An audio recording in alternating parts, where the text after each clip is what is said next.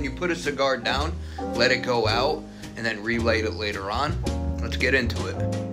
So the first thing I would suggest is always try to pick a cigar that you can finish.